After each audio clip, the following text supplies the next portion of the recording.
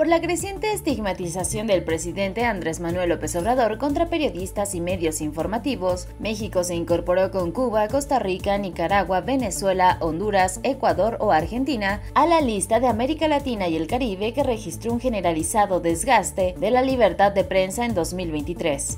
Nuestro país fue calificado como uno de los más peligrosos y letales para la prensa en la región y el mundo de acuerdo con la Relatoría Especial para la Libertad de Expresión de la Comisión Interamericana de Derechos Humanos. En su informe anual 2023 detalló que al menos siete periodistas fueron asesinados en México por motivos relacionados a su trabajo.